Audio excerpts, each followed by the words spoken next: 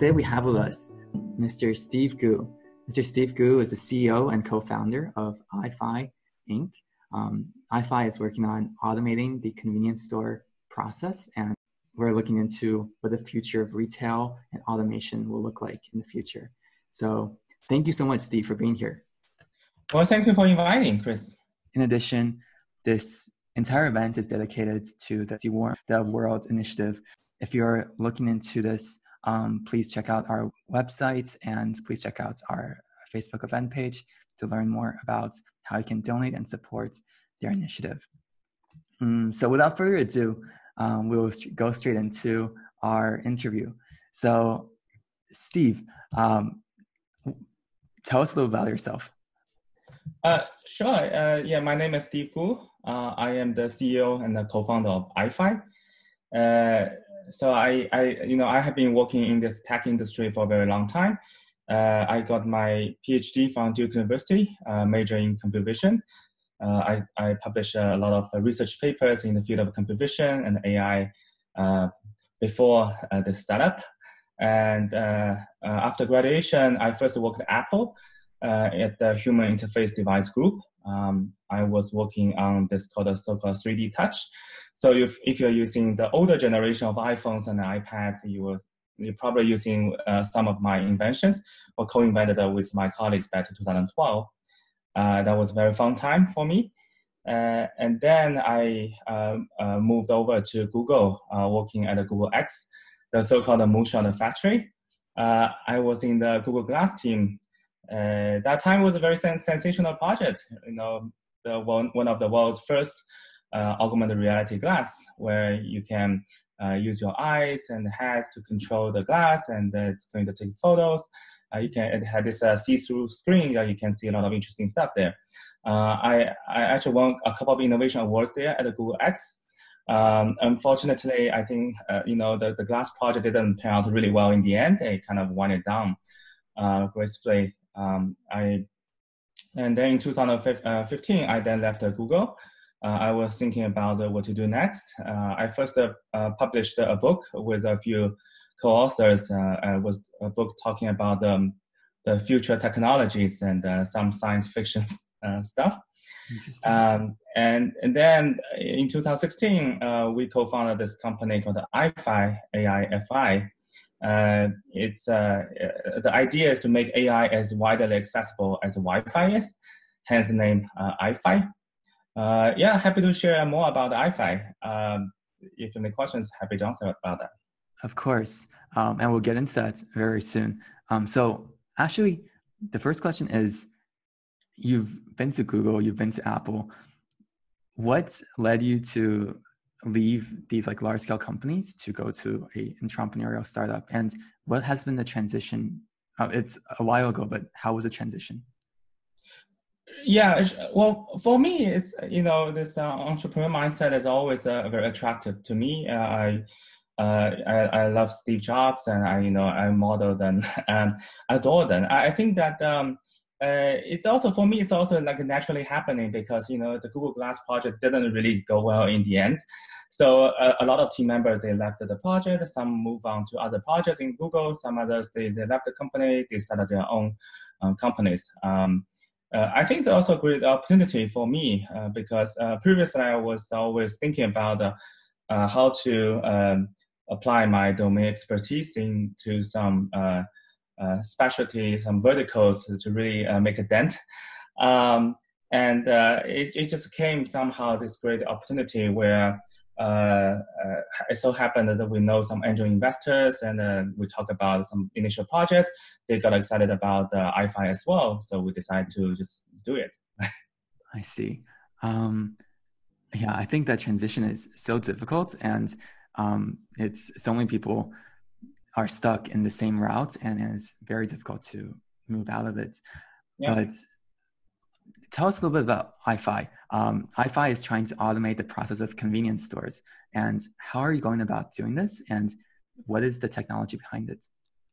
Yeah, so uh, at AiFi, so we are automating the world's uh, stores. So we developed very advanced computer vision and sensing technologies. To enable the system to be able to monitor who is grabbing what in real time inside a real uh, shopping environment. Um, it, it, it's I, I think that it's, it's, even though it's doing its very inception stage, it's already grabbing a lot of attention from both media and from the shoppers and from customers. Uh, we actually launched uh, almost 10 stores last year. Uh, you probably heard uh, uh, a few uh, announcements from us. we have one store in Silicon Valley, one store in Netherlands, another one in Shanghai, in China. So we have been developing the technology very rapidly these days to enable this unique experience. Mm-hmm. Um, AiFi is also very uh, unique in the sense that uh, we are, you probably heard about Amazon Go, where um, you know people can walk in, grab stuff, and leave. However, that um, their solution is quite expensive, and uh, uh, it's it's also still in its early stage. We, on the other hand, uh, because our mission is to make AI as widely accessible as Wi-Fi is, so we try to make the solution uh, very low cost, very easy to deploy, and very friendly to use. Um, and today, our customers range from very large retailers internationally, well recognized retailers uh, in both Europe and the US, and also in Asia. Uh, we're also working with some of the mom and pop shops uh, to empower the stores to run 24 7 nonstop. Hmm. I see. And just to talk a little bit more about that. So, we're imagining the future of I go into a store and I pick up something from a shelf, and then the computer vision technology is able to track what I pick up. And um, when I leave, I can automatically, uh, I need a card or something that's connected to the store to swipe out and check out. Yeah. So, well, in fact, it's a it's a checkout free, right? So you don't even need to check out. So basically, you can use a cell phone app to scan a QR code in, or you can use a credit card or debit card to swipe to tap uh, in the entrance to walk in. And once you are inside, you can just shop as usual. Uh, you can grab stuff, you can inspect the items, you can return the items back to the shelves. Uh, our system is able to uh, track multiple people shopping simultaneously in the store. And once you are done shopping, you can just leave. There's no checkout, there's no waiting, there's no lines, everything is uh, automatic. And uh, if you're using a cell phone, you will be able to see the receipts uh, popping up on the cell phone automatically. Uh, in contrast with Amazon Go, which the receipts might take uh, minutes and sometimes hours to, to get, uh, our system can provide you this real-time receipts so that you can you can really in, in, fact the entire shopping journey can be just redu- reduced to a few seconds right? Imagine that you are catching up a train where you can just walk in grab stuff and leave. And uh, i think it's one of the world's fastest uh, shopping experience. That's very interesting. And Okay, so if there's two products right next to each other, one is a 120 gram chip and then one is an 80 gram chip, how is the computer vision technology able to know that's which is which? Yeah, we actually call the, the technology in broader terms called the sensor fusion.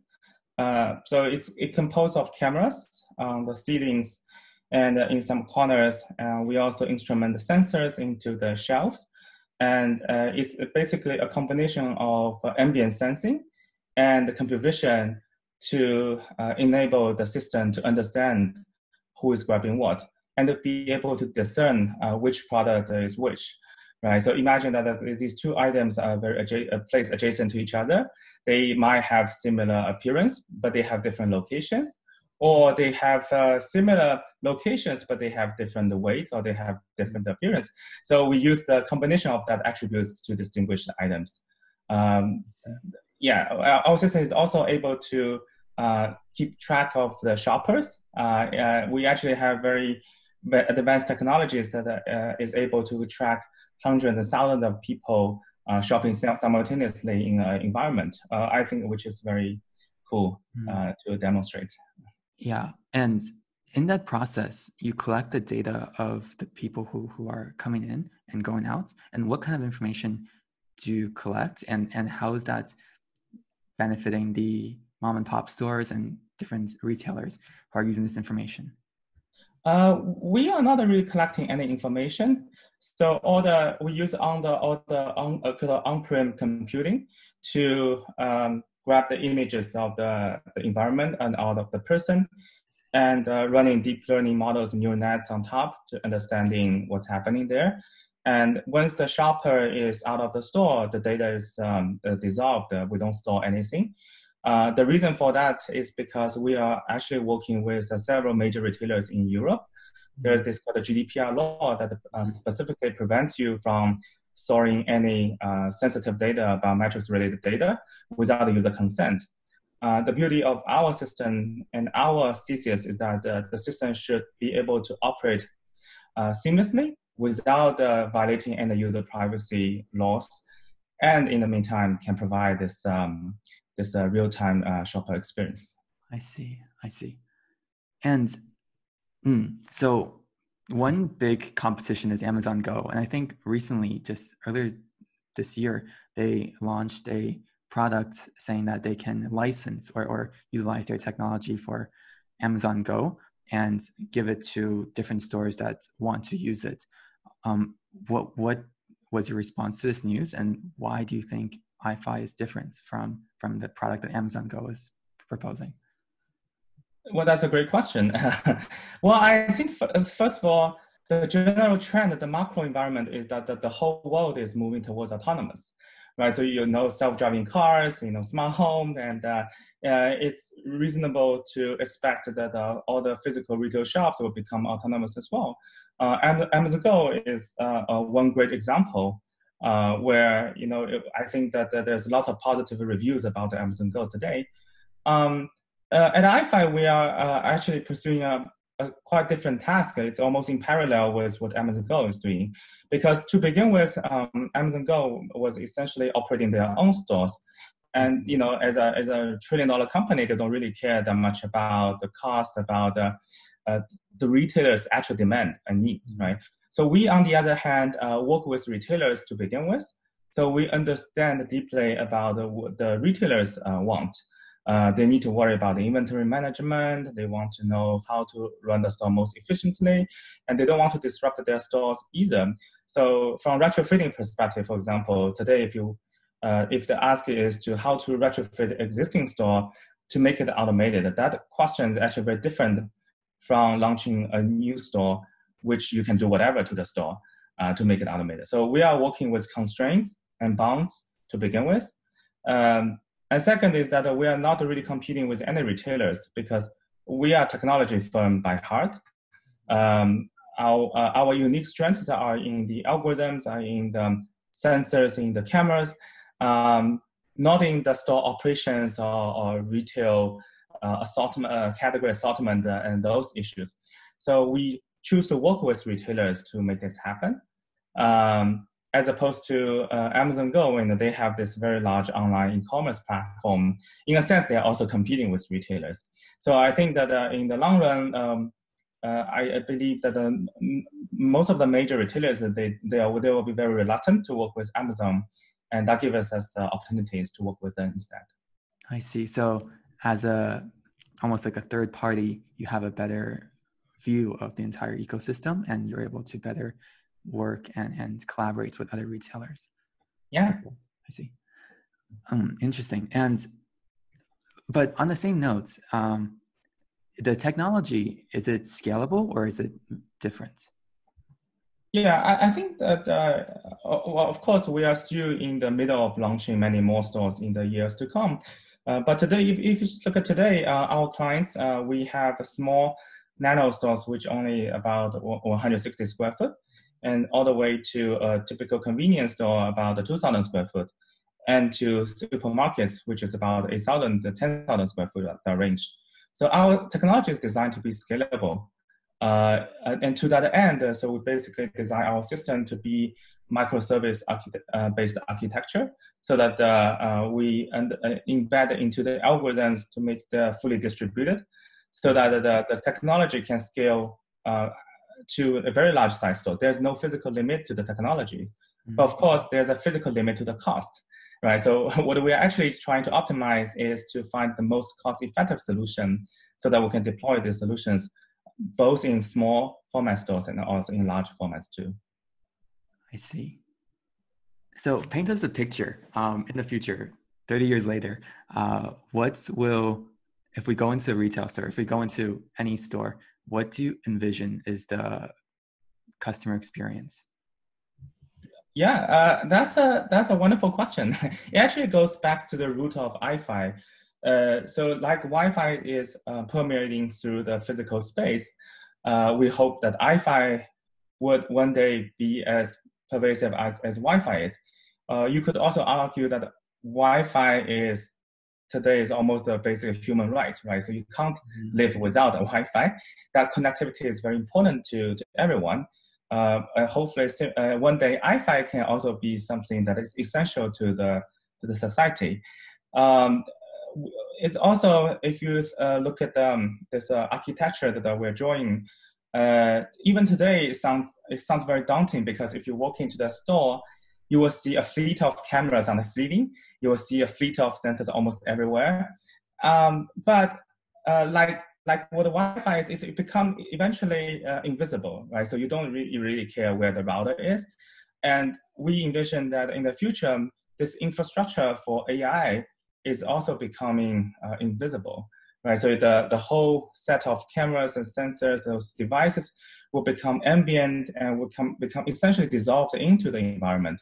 Uh, in a sense that the environment itself uh, is, is AI, right? The environment can learn how to think, how to sense, how to smell, uh, how to sense the vibrations, um, how to understand the activities, uh, how to recognize products. Uh, essentially, those sensors and cameras will will be dissolved in and uh, and uh, changed uh, and upgraded to be essentially just like dusts, right? Those tiny sensors can sense, uh, do everything. So that's the, the idea we have. Uh, we believe that in, in 30 years from now on, uh, you go to re- retail shops, it just look like a normal convenience store. It just look like any shop you would have today, but it's fully digital in the sense that it understands what's happening uh, in the store. And, and maybe the technology is not only limited to just the retail shop, it can also be applicable to shopping centers, movie theaters, uh, university campus, um, your home, um, all the ambient environment. Um, I see. I think this is, will be something that uh, is very attractive to us. So you said it would almost dissolve. Uh, just to clarify, in what way will it dissolve? Is it because the technology will be nearly invisible or not be able to be detected? Or is it because there will be so much technology everywhere, there will be so many cameras everywhere that we will just get used to it? Um, it, it's probably more than that. So today, if you look at that phone, you know, that's an intelligent device. But you know, this AIoT, right? So there's a there's a buzzword for that called AIoT. It's AI plus IoT. Uh-huh. Uh, if, if, you look at the future, the evolution of that, it means that the daily objects and um, the gadgets like your pen and everything can can think because the the edge computing device becomes so small and so tiny and and, and uh, you, you can barely see that, right? And, and also that um, it's not just about the cameras. There are lots of uh, unique sensors there in the world too that can uh, tell the, the smell, the vibrations, the haptics, and all those things. So it's the combined uh, the sensing field that would enable these things to happen. I see. And yes, so that technological change is not available now, but how long do you, does it take for this process to change? Um, and and do you think like this requires in the future 5G technology to be rampant, or does it require anything specific to like meet the conditions so that this is be able to spread? Uh, I think that the, um, the autonomous store is one great example that can become reality very soon. It's almost the reality today, right? So I mean, Amazon's already having 20, 30 stores there, and we, we have a dozen stores there too. Uh, it's just that the infrastructure is still pretty heavy. Uh, so you will see that the adoption curve initially is very slow because it's also very expensive. Uh, the, the underlying technology is also rapidly developing. So every every week, every month, you see uh, the, new publications from research at academia about uh, the more efficient neural net models, uh, low, uh, more efficient computing devices, better neural network architectures.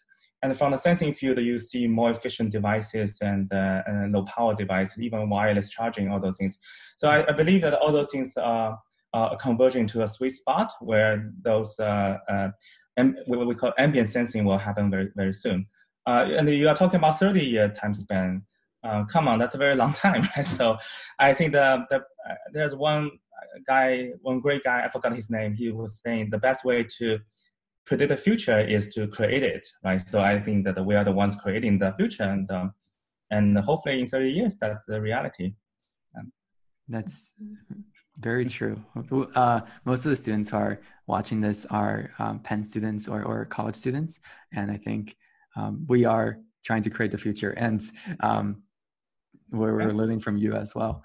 But uh, with that said, I think what you came from an academic background and how did you transition into business and, and entrepreneurship? Like, what was the mindset shift in that process?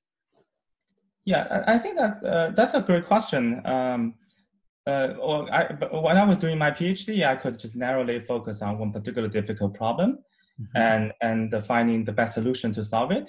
Uh, even when I was in Apple or Google X, and uh, um, usually you can focus on certain areas mm-hmm. and without worrying about the rest. For example, I can propose crazy ideas without worrying about uh, cost without worrying about the human capital, um, without worrying about some of the, the dynamics there. Um, now, once you are doing a startup company, uh, you realize that uh, um, this problem solving or technology per se is just a, a small part of the, the whole equation.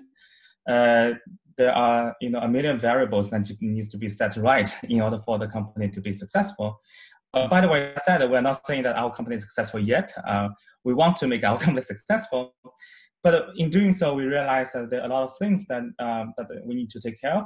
Uh, from the most of the agile relate to the human aspects, right? Um, from uh, people dynamics to, to, management to how to motivate and coordinate the team to make sure it's most productive, uh, to identify the right direction and focus on that direction and not getting uh, distracted on that. So I think it's very important. And those things you, they usually they usually don't teach you in at school, and you, you, probably have to experience that yourself in order to understand the subtleties and difficulties out, uh, out of it. Hmm. Is there a story you can share about like one of the biggest challenges you faced in starting this company and how you've tried to overcome that? Well, I, I think there were a lot of challenges. I can I can almost every day we're facing a lot of challenges. Mm-hmm. Uh, every week there are some decisions that might be detrimental or, uh, to the company. Uh, so we have to be very careful on that. One example I can share is um, uh, I think we started with a great dream, a very big dream. Right? I would say, okay, we want to make AI as widely accessible as Wi-Fi. So we we have this vision that uh, this infrastructure will eventually be dissolved into nothing and the intelligence will be very pervasive. However, down to earth, we still need to think about how to make money, right? So uh, we also need to find a way to connect a point A to point B. Um, in so doing, we actually uh, spent quite a while understanding uh, which area we should focus on. Because eventually, even let's just say we have the best algorithm in the world that can squeeze the neural nets into a very small footprint to run on those low power devices, it doesn't mean that you can make money out of it. Uh, so in, in the, the first year, um, we basically were evaluating uh, very attentively with a few uh, different companies, deciding which is the best route for us to monetize from. Uh, we ended up choosing focusing on this autonomous shopping simply because um, you know the physical retail, the, the retail combined uh, occupies almost two thirds of the world economy. So it's it's kind of one of the largest sectors you can imagine and that's that's also the, happens to be the sector where AI can play um, a very important role there. So that's why we chose that. But that decision is not easy because in doing so, we're also giving up a lot of other options and uh, and opportunities. So I think that uh, being able to evaluate and look at the opportunities, but also choosing and focusing on one and giving up the rest is actually a very difficult decision. Um, I guess that's just one example that uh, that, that running startups can teach you about. And what were the other options? So what is something else that you wish AI you could have been a part of the AI revolution in? Well, there at that time a few, a few years ago there were potential acquisition opportunities. Some people want to just buy you for the technology you're developing. There were also, you know, we were also negotiating about contracts regarding uh, embedding those uh, uh, efficient neural nets into the edge devices. Mm-hmm. But uh, the, but actually, it's a very different application. It also make, uh, means that um, we become a pure technology firm and not a product company. So uh, by focusing on the autonomous uh, retail shopping and uh, building autonomous stores. So we, we decided to become a product company as opposed to just a mere technology company. So th- there are some qualitative difference there. Uh, yes, and so uh, more specifically, what other industries or areas do you think AI could make a huge difference? And um, like you chose autonomous shopping, but what else are other industries, other areas that you could have gone into that would have been very fascinating and is still very fascinating in AI? Oh yes, that, what that's there's a lot. Uh, well, well, out of my mind, I can think about self-driving cars. Needless to speaking, it's going to happen. maybe flying cars, maybe something else. Uh, and then there are uh, things related to IoT, smart homes right? Uh, your uh, your daily interactions with the objects and in, in, the sensing field, there's a lot that can happen. Uh, surveillance is one large field, um, and then there are uh, other sectors regarding, for example, marketing, legal, HR. all those fields can and should be disrupted by, by AI, right? And, and there are also other fields um, you mentioned about uh, I think in the beginning of the, the this uh, talk you mentioned about altruism, right? Altruism. So you can use AI to detect uh, those altruism, maybe to uh, find some early signs, uh, uh, and maybe even using AI to develop some practical solution to monitor and to to as a, some preventive measure for for the altruism. So that might be a great application, and the medical is a great field too, right? So now you can use uh, AI to uh, do the early diagnosis and, and also detect some cancer, uh, some therapy. there, there's a million. I, I, guess you name it, we, we can claim it.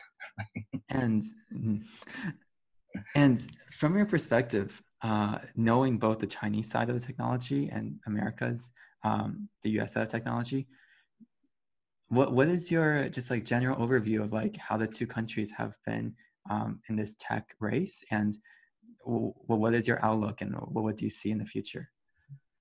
Yeah, I was born in Shanghai in, in China, so uh, I would um, I knew that uh, the culture, the people there, and I, I moved to the U.S. for my study, uh, and eventually stayed here in the U.S. Um, I, I, think that, that there's a um, there's a very interesting uh, interplay between two different countries, a very different culture. Uh, I do see that um, uh, there are a lot of talents in, in, in both countries. Um, China is definitely, you know, uh, catching up very quickly these days. If you look at the face recognition, surveillance, and those applications, almost like uh, commonplace in China now. Uh, as opposed to in US, I think there are lots of legal regulations about um, concerns and uh, things. So in that regard, it seems it's lagging behind. But on the other hand, I think that if you talk about the true innovation and the technology advancement, most of the those innovation and advancement happen in the U.S., especially in Silicon Valley. You know, it's um, it basically it's like a magnet sucking all of the, the talents from from all over the, the world.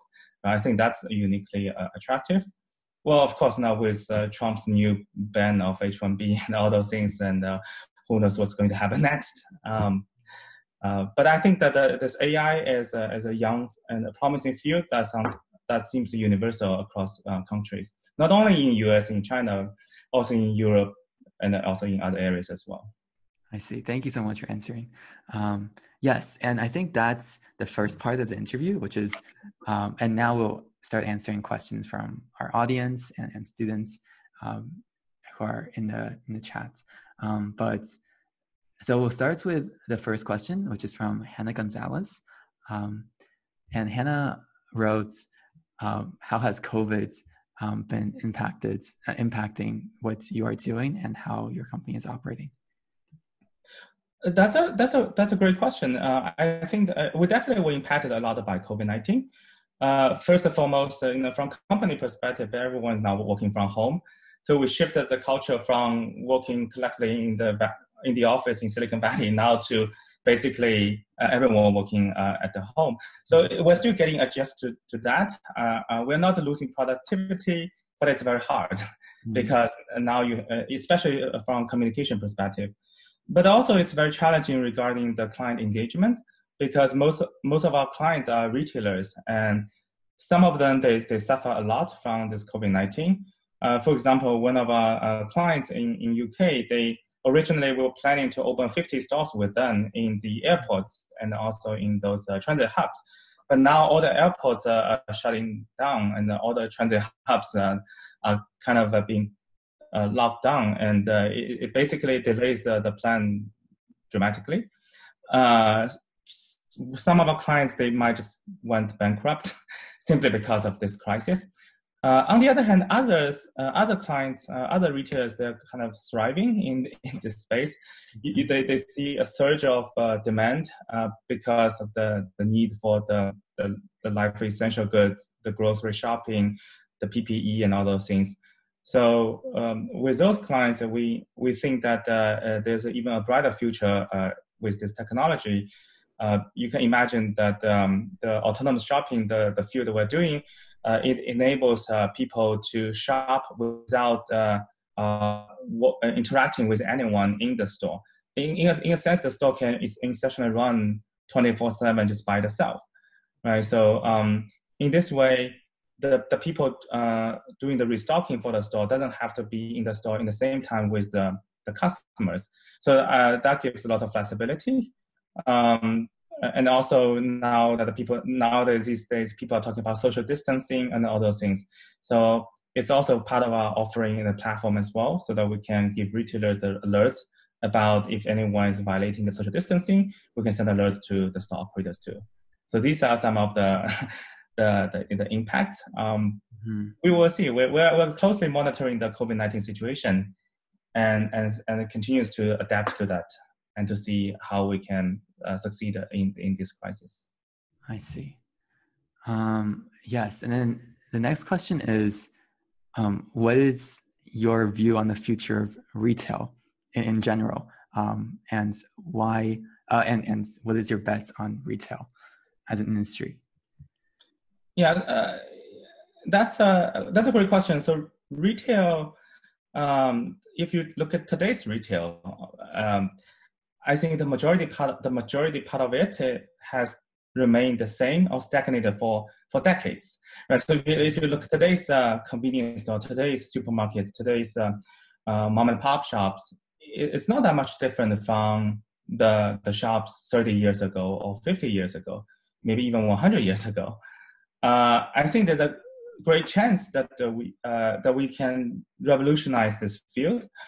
people have been talking about omni-channel sales, you know, blending the digital and the physical uh, for a time. And this COVID-19 is also accelerating the adopt, adoption of the, these e-commerce platforms. You know, Amazon, JD.com, they are performing really well uh, during COVID-19. Um, I think moving forward, uh, the retail needs to needs and should be automated. Um, it's not only for the e-commerce part, uh, for the online part, but also for the offline, for the physical part uh, there's a lot of things we can automate, right? So the user experience, um, people shopping, uh, you know, Americans spend seven, uh, 37 billion hours just waiting in line in doing grocery shopping. That's just a ridiculous amount of wasted hours uh, for human capital, right? Mm-hmm. But beyond that, there's also this availability uh, issues because today uh, you have to drive miles to get to even a clo- the, your closest shop, a convenience store, let's say 7-Eleven to shop.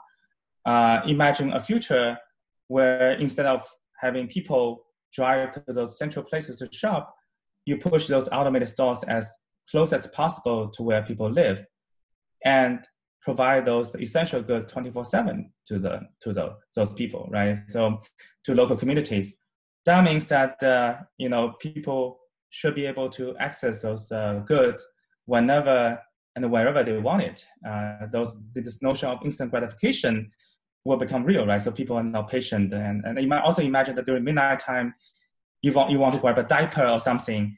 Um, it would be very difficult for you to drive miles to get to that. What if there's a shop just near uh, your apartment, only within five minutes walk? So that's where the shopping can be dramatically changed. And we believe these automated stores can enable that to happen. Um, and well, on top of that, you know, we can also talk about automated inventory, automated warehouse, uh, automated um, uh, analytics, and uh, and also extended hours, etc. So the, yeah, there's a lot of things uh, that that we can innovate in this field. Mm, very interesting. Um, and the next question is from uh, Vijay Lopez, um, and it is a very technical technical question. Is how do you train the algorithms for the images which are picked up? and are they optimized for certain types of products? That's a very technical question. well, and, and, there's no simple answer to that either. Uh, I think that uh, that's why there's a whole engineer team working on, on those challenging problems. Um, I do want to highlight a few things. And you know, in the AI field, uh, it's not just about algorithms; it's about data, right? So I think uh, compared to algorithm data, perhaps even more important today than ever. Uh, the way we solve that problems is to create a very large scale, uh, very sophisticated simulation system mm-hmm. that can simulate all sorts of shopping behavior. Uh, you can actually look look at our website, and you know we, we provide some examples um, where we can simulate uh, uh, shoppers of different heights, different clothing, different hairstyle, to grab items, putting items back, and we also digitize all of the product items uh, in full 3D format and arranges them in such a unique way that allow the neural nets to learn uh, who is grabbing what. It's not a trivial problem, but it's a very fun and interesting problem to solve. Do you mind sharing what is the accuracy of of the product? I know Amazon Go is around 98%. Is there a, a number for like what is the accuracy of a current product? Uh, yeah, on our website we are already uh, showcasing some of the metrics there. It's mm-hmm. called Triple A, right? So we our system uh, is aimed to be uh, autonomous, affordable, and accurate. Triple A. Mm-hmm. Uh, so we aim to strive uh, beyond the 99% accuracy.